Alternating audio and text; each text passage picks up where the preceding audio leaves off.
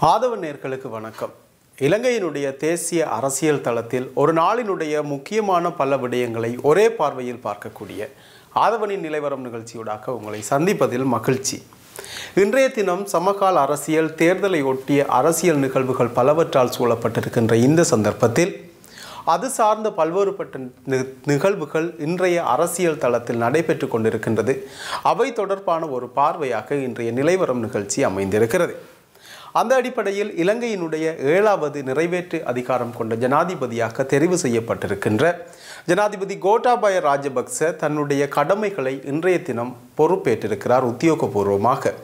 உங்களுக்கு தெரியும் கடந்த பதினாறாம் திகதி இலங்கையினுடைய ஏழாவது நிறைவேற்று அதிகாரம் கொண்ட ஜனாதிபதியை தெரிவு செய்வதற்கான தேர்தல் நடைபெற்றிருந்தது. அதற்கு பிற்பட்ட அடுத்த நாள் அல்லது அதற்கு அடுத்த நாட்களிலே தேர்தல் வாக்கெண்ணும் நடவடிக்கைகள் யாவும் பூர்த்தி அடையப்பட்டு உத்தியோகபூர்வமாக ஜனாதிபதியாக கோட்டாபாய ராஜபக்ச தெரிவித்திருக்கிறார் என அறிவிக்கப்பட்டிருந்தது.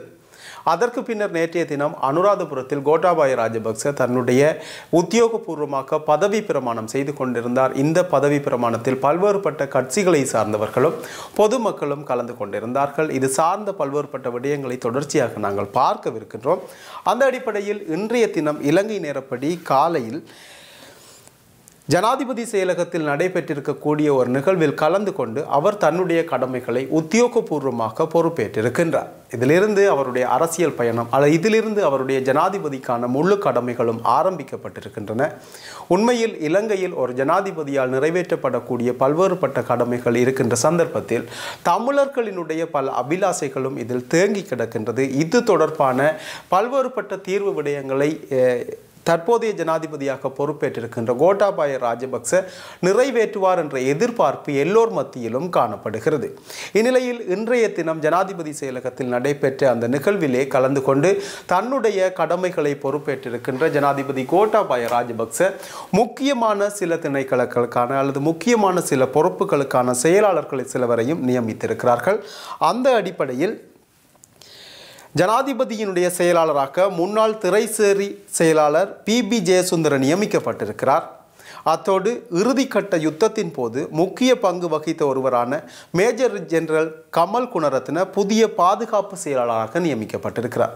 தற்போது பொறுப்பேற்றிருக்கின்ற இலங்கையினுடைய ஜனாதிபதி கோட்டாபய ராஜபக்ச கடந்த காலங்களிலே இலங்கையினுடைய பாதுகாப்பு செயலாளராக கடமையாற்றியிருந்தவர் என்பது நாம் அனைவரும் அறிந்த ஒரு விடயமாக இருக்கின்ற சந்தர்ப்பத்தில் ஜ முன்னாள் பாதுகாப்பு செயலாளர் ஜனாதிபதியாக வரு ப பதவியேற்றிருக்கின்ற இந்த காலப்பகுதியில் இவருடைய பதவிக்கால காலத்தில் யாரை பாதுகாப்பு செயலாளராக நியமிப்பார்கள் என்ற கேள்வி பலர் மத்தியிலும் கடந்த காலங்களில் எழுந்து வந்த நிலையில் குறித்த கேள்விக்கான பதிலாக முன்னாள் மேஜர் ஜெனரல் கமால் குணரத்ன பாதுகாப்பு செயலாளராக நியமிக்கப்பட்டிருக்கிறார்.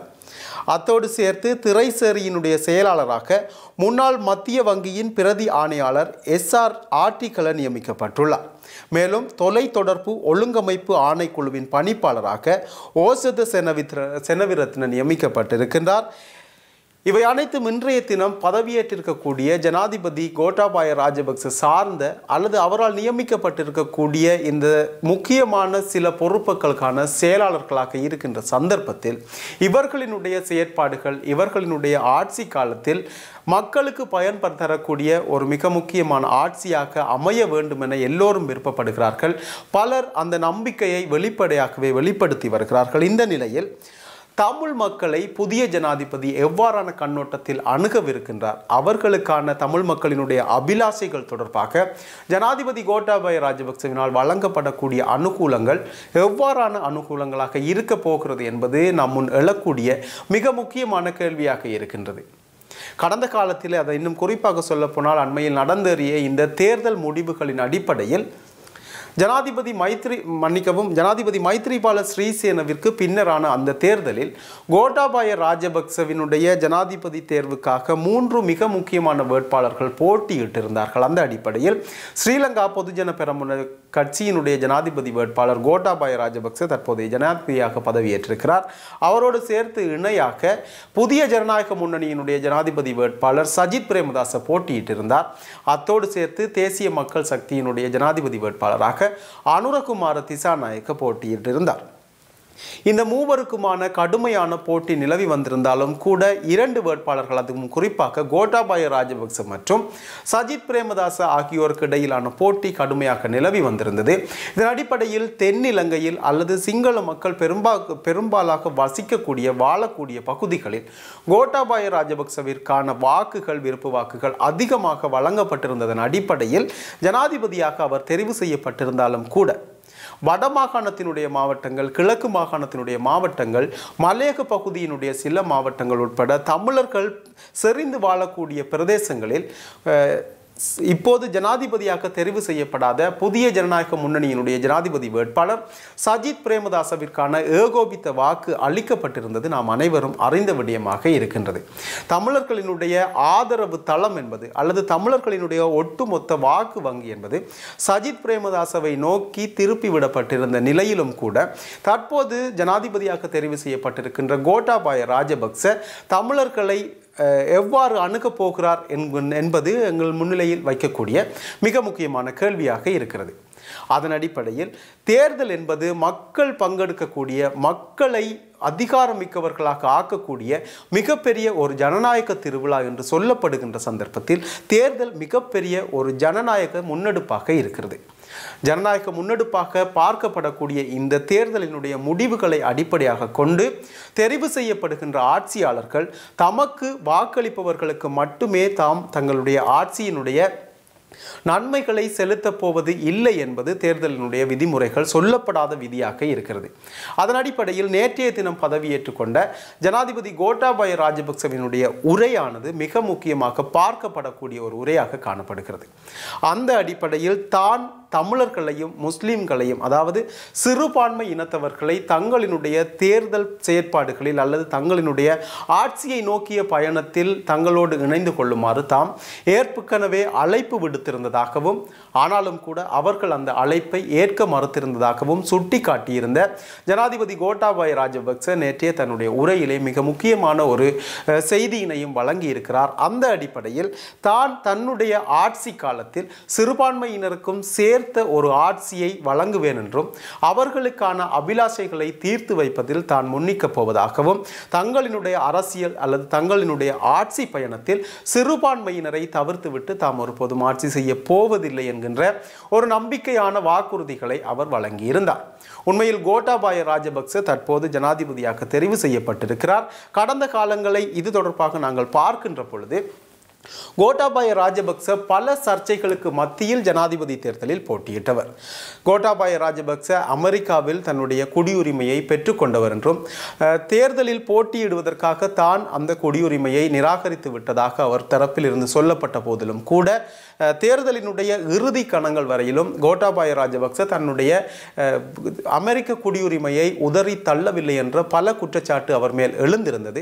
அதனை தாண்டி கடந்த இரண்டாயிரத்து ஒன்பதாம் ஆண்டுக்கு முற்பட்ட காலம் பகுதிகளில் நடைபெற்றிருக்கக்கூடிய போர் குற்றச்சாட்டுகள் தொடர்பான பல்வேறுபட்ட குற்றச்சாட்டுகளும் விமர்சனங்களும் அவர் மீது வைக்கப்பட்டிருந்தாலும் கூட அதனை அவை அத்தனையும் தாண்டி குறித்த தேர்தலிலே போட்டியிட்ட கோட்டாபாய ராஜபக்ச தற்போது இலங்கையினுடைய ஜனாதிபதி என்ற ஆட்சி கதிரை கதிரையில் அமர்ந்திருக்கின்றார்.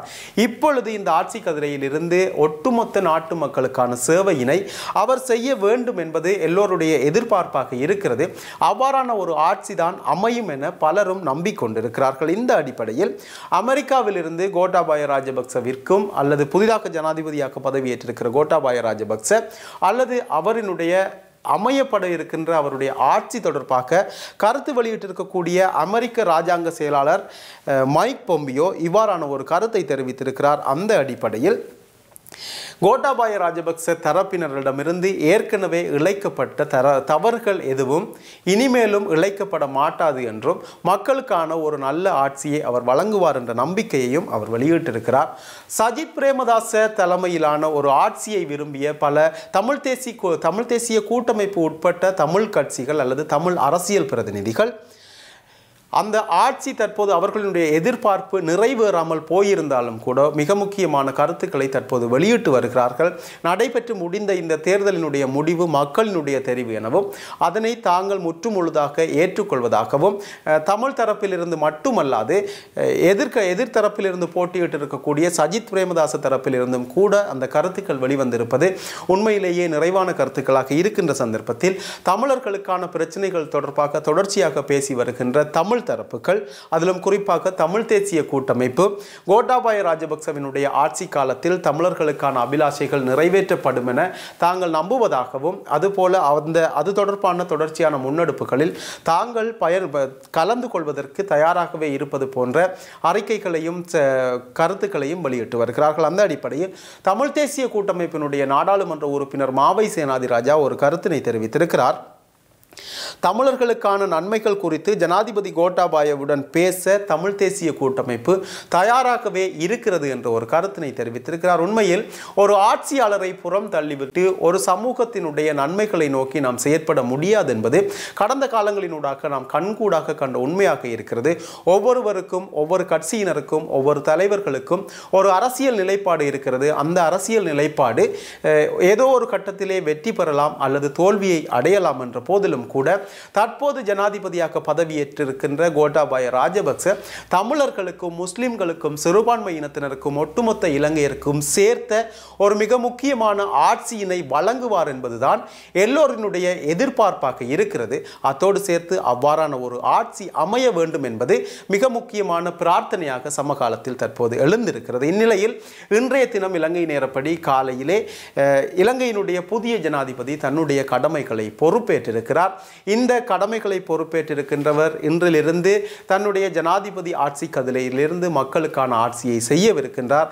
அவரால் மேற்கொள்ளப்படவிருக்கின்ற இந்த ஆட்சியானது அனைவருக்கும் ஒரு நிறைவான ஆட்சியாக அமைய வேண்டும் எனவும் தொடர்ச்சியாகவும் பொதுமக்கள் ஒரு அச்சுறுத்தல் இல்லாமல் எந்த விதமான நிபந்தனைகள் இல்லாமல் கட்டுப்பாடுகள் இல்லாமல் நெருக்கடிகள் இல்லாமல் தங்களினுடைய இயல்பான வாழ்க்கையை தொடர்ச்சியாக வாழுவதே ஒரு மக்கள் கூட்டத்தினுடைய உண்மையான சுதந்திரமாக இருக்கும் என்ற பட்சத்தில் அவ்வாறான ஒரு ஆட்சியைத்தான் நாமும் விரும்புகிறோம். இன்றைய தினம் க பர- பதவியினை பொறுப்பேற்றிருக்கின்ற கோட்டாபாய ராஜபக்ச இலங்கையினுடைய புதிய ஜனாதிபதிக்கு அதவன் சார்பாக எங்களுடைய வாழ்த்துக்களையும் தெரிவித்துக் கொண்டு இது தொடர்பாக அல்லது இந்த தேர்தல் தொடர்பாக இந்த தேர்தலினுடைய வெற்றி தொடர்பாக இந்த தேர்தலினுடைய அரசியல் அவர்களினுடைய நிலைப்பாடுகள் தொடர்பாக அந்த நிலைப்பாடுகளினுடைய எதிர்கால வெளிப்பாடுகள் தொடர்பாக இன்னும் சற்று ஆராயவிருக்கின்றோம். அது அதற்கு முன்பதாக ஒரு சிறிய வர்த்தக விளம்பர இடைவெளியை எடுத்துக்கொண்டு மீண்டும் இணையலாம். விளம்பர இடைவேளையின் பின்னர் மீண்டும் நிலைவரம் நிகழ்ச்சியூடாக இணைந்திருக்கின்றோம். தேர்தல் களத்திலே நடைபெற்று கொண்டிருக்கக்கூடிய பல்வேறுபட்ட விடயங்கள் தொடர்பாகவும் இந்த ஒரு தேர்தல் நிறைவு பெற்ற பின்னரும் கூட அதன் அதிர்வலைகள் இன்னும் ஓயாத நிலையில் குறித்த விடயம் தொடர்பாக பலவாறான விடயங்கள் பேசப்பட்டு வந்து கொண்டிருக்கின்றன. இது தொடர்பாக ஆராய்ந்து கொண்டிருக்கின்றோம். அந்த அடிப்படையில் அனைவருக்கும் தெரியும் தமிழ் தமிழர் தாயக பகுதிகள் என்று சொல்லக்கூடிய வடக்கு கிழக்கு மற்றும் மலையகம் சார்ந்த பகுதிகளினுடைய வாக்கு விகிதங்கள் எவ்வாறாக அமைந்திருந்தன என்று அந்த வாக்கு விகிதங்களின் அடிப்படையிலும் கூட குறைந்த அளவான வாக்குகளே புதிய ஜனாதிபதி கோட்டாபாய ராஜபக்சவிற்கு வழங்கப்பட்டிருந்தாலும் கூட கோட்டாபாய ராஜபக்ச ஜனாதிபதியாக பொறுப்பேற்றதன் பின்னர் அது தொடர்பான வெற்றி கொண்டாட்டங்கள் அது தொடர்பாக நன்றி தெரிவிக்கக்கூடிய பல கூட்டங்கள் என வடக்கு கிழக்கினுடைய பல பகுதிகளில் நடைபெற்று வருகின்றன. அந்த அடிப்படையில் கோட்டாபாய ராஜபக்சவிற்கு ஆதரவு தெரிவித்திருக்கக்கூடிய தமிழ் கட்சிகளாக இருக்கின்ற டக்ளஸ் தேவா நாடாளுமன்ற உறுப்பினர் டக்ளஸ் தேவானந்தா தலைமையிலான இபிடிபி அது மட்டுமல்லாமல் முன்னாள் பிரதி அமைச்சர் விநாயகமூர்த்தி முரளிதரன் சார்ந்த கட்சியினர் அங்கஜன் ராமநாதன் சார்ந்த கட்சியினர் அத்தோடு சேர்த்து பல கட்சிகள் வியாழேந்திரன் நாடாளுமன்ற உறுப்பினர் வியாழேந்திரன் சார்ந்த கட்சிகள் என பலர் தங்களுடைய வெற்றி கொண்டாட்டங்களிலும் அதை சார்ந்த மக்கள் சந்திப்புகளிலும் ஈடுபட்டு வருகிறார்கள். அந்த அடிப்படையில் இன்றைய தினம் கா காலை முன்னாள் பிரதியமைச்சர் விநாயகமூர்த்தி முரளிதரன் மேற்கொண்டிருந்தார்.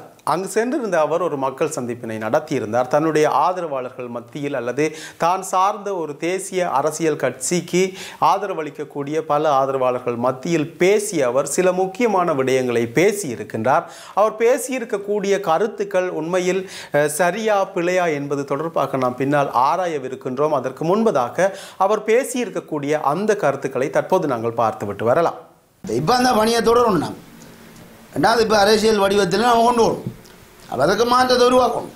உருவாக்க விட்டோம்னா நாம் கடன் கடும் பிரச்சனைகளை போயிடும். அப்போ இந்த தேர்தல் ஒரு பாடம் நமக்கு. அப்போ இதிலிருந்து கவனம் எடுத்து வடிவாக கொண்டு போகணும் நேரத்துக்கு நேரம் சும்மா தமிழ் தேசிய கூட்டம் எப்பயே மாற்றி கொண்டே இருக்கும் அதுக்கு பின்னால் ஓட தொடங்கினோம்னா பிழைக்கும். அப்போ இதால் மிகவும் அவதானமாக கவதானமாக நீங்கள் சிந்திங்க. அதுக்காக நாங்கள் ஒரு கட்சியை தொடக்கி நாங்கள் தமிழரைக்கு சுதந்திர முன்னணின்னு சொல்லி அதில் பல மெம்பர்ஸ் இருக்கு. பிரதேச சபையில் நகர சபையில் கிட்டத்தட்ட எல்லாம் சேர்த்து இவங்களோட சேர்ந்து வந்து எல்லாம் சேர்த்து எழுபது கிட்டடி அப்போ முதல் தலைமை. அப்போ இதை பறந்து வட்டாடி வடகிழக்கில் வளர்க்கணுன்றது என்ற விருப்பம். என்னது கண்டால் இப்போ தமிழ் தேசிய கூட்ட உடைஞ்சு போகும்னு எனக்கு தெரியும். அது ஏற்கனவே உடைஞ்சு போய் அப்படி இப்படி கிடக்கு எழுது அங்கே விக்னேஸ்வரன் ஒரு பக்கம் ஜல சுரேஷ் வந்து ஒரு பக்கம் இப்படி இப்படி கிடக்கு. அப்போ இது நீ ஒரு உறுதியான கட்சியாக நாங்கள் வளர்த்தெடுக்கணுன்றது தான் எந்த நோக்கம். எதிர்வாளிக்க போகணும் இந்த கட்சியினூடாக அப்போ அதை மைந்த முதல் அவர் ஜனாதிபதிக்கு இந்த திட்டத்தை கதைச்சினான் நாங்கள் இப்படி தான் செய்ய போகிறோம் நான் இப்போ ஒரு பெரிய பதவியெலாம் இருந்தேன் நான் ஸ்ரீலங்கா சுதந்திர கட்சியில். அதாவது உப தலைவர் வைஸ் பிரசிடென்ட் இதுவரையில் ஒரு தமிழன் விரிக்கல இல்லை அப்படி ஒரு பதவியில். அப்போ இருந்த கொண்டும் எனக்கு அது விருப்பம் இல்லை ஏன்னா அதுக்குள்ளே இருந்தால் அந்த கட்சியை கட்டுப்பட்டு தான் நாம் கதைக்கலாம். நமக்கு தமிழனை பெரிய கைக்கலாம் உண்டை பெரிய கைக்கலாது இன்றைக்கு சம்பந்தனை அவன் போட்டு போட சொல்லி எல்லாம் போட்டு கொண்டு வந்தான் ஆனால் ஒரு அரசியல் கைதியை கூட அவன் பிடிக்கல செய்யலி. யாரு? மைத்திரி ராணி ஆக நூற்றி நாற்பது நூற்றி முப்பத்தி நாலு அரசியல் கைதி யாரி அதை தான் பெரிய உலகம் முழுக்க காட்டி வர்ற பெரிய பிரச்சனை இப்போ விளங்காரி. பன்னெண்டாயிரம் போராளிகளை மைந்தர் இயக்க நாங்கள் புனர்வளர்ச்சி முடிவிச்சினாங்க இந்த அதில் பெரிய ஆட்டில் ஏறிய தளபதியிலிருந்து பெரிய தளபதியை நான் இப்போ வெளியில் இருக்கான் இந்த அந்த எவ்வளோ பெரிய விஷயம் உண்டுவார் நல்லது எல்லாத்தையும் சுடு தள்ளிமாண்டே அப்போ அதுக்குள்ளே காணாமல் போனன்றலாம் அந்த நான் நான் தான் வந்து நின்று நான் அந்த உங்களுக்கு தெரிய தெரியாது.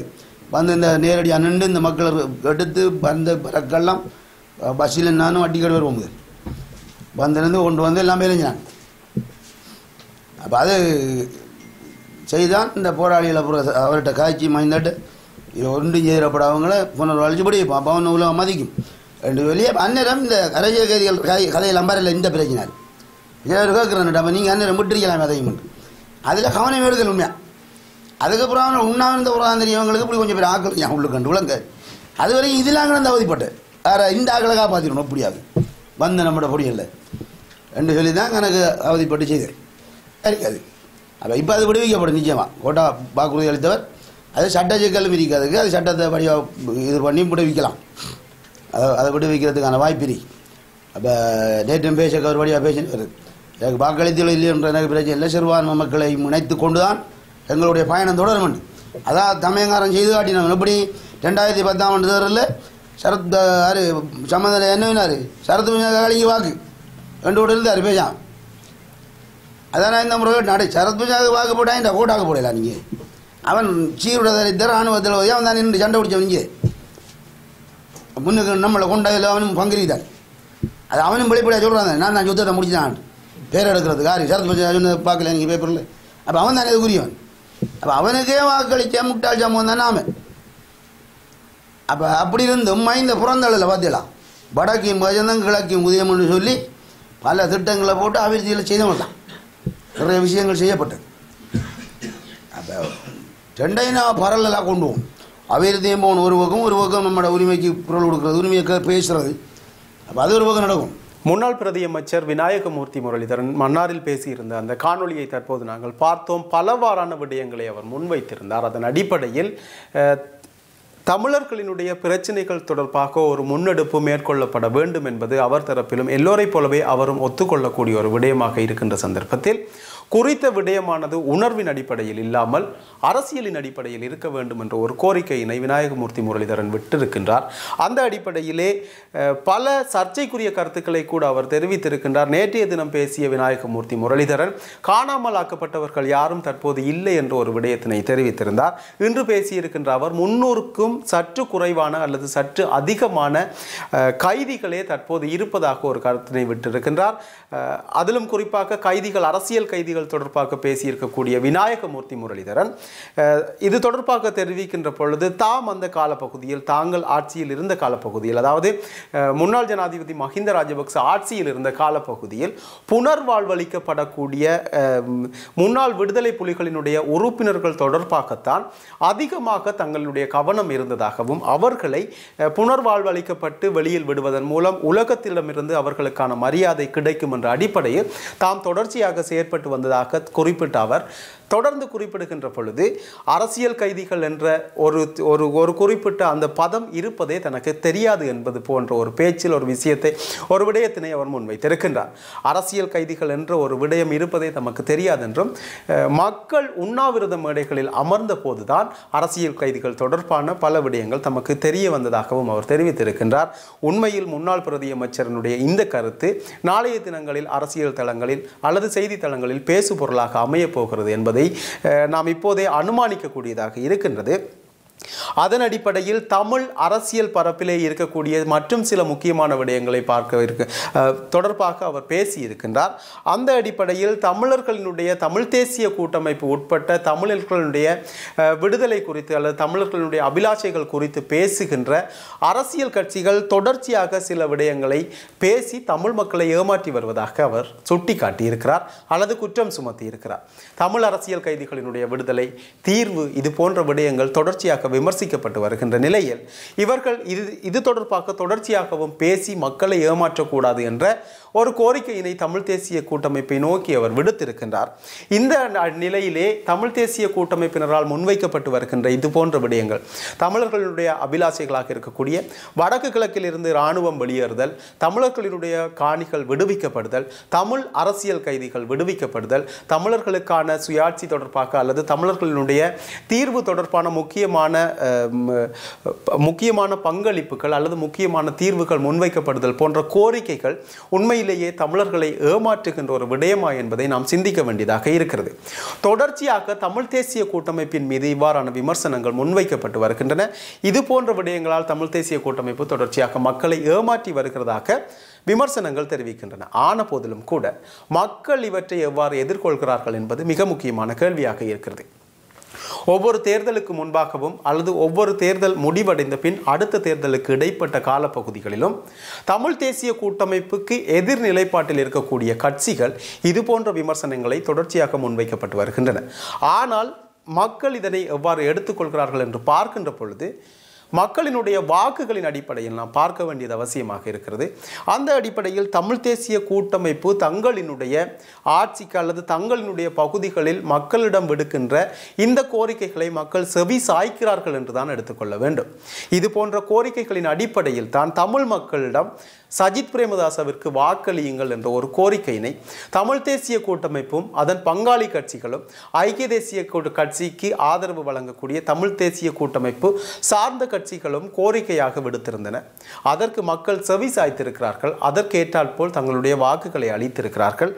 இந்நிலையில் மீண்டும் தொடர்ச்சியாக இது போன்ற குற்றச்சாட்டுகள் மீண்டும் மீண்டும் வைக்கப்பட்டு வருகின்ற நிலையில் இது தொடர்பாக நாம் தீர ஆராய வேண்டியது நமது கடமையாக இருக்கிறது.